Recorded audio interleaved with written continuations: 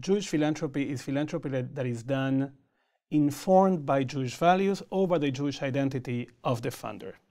So we try to maximize the impact of that philanthropy, meaning that there's more of it, but there's also that is more uh, strategic, impactful, and connected, more networked.